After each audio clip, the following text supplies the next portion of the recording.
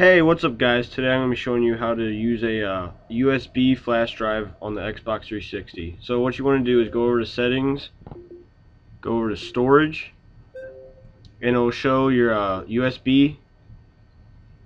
What you want to do is you want to click on that, and it'll say customize or configure. Click configure and then yes. And this will take about, maybe about a minute. Depends on what kind of uh, flash drive you have but what it's doing it will erase everything on that flash drive and configure it to so you can use it on the Xbox 360 so let's give it a second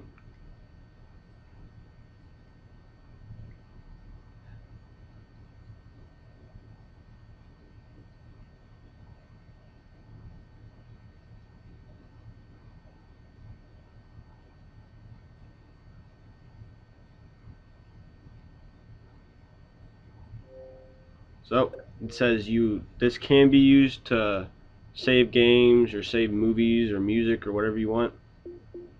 So then you could just click on it. See, I'm putting my uh, my profile on there, and it signs you out. It's very fast. Well, pretty simple, guys. See you guys later.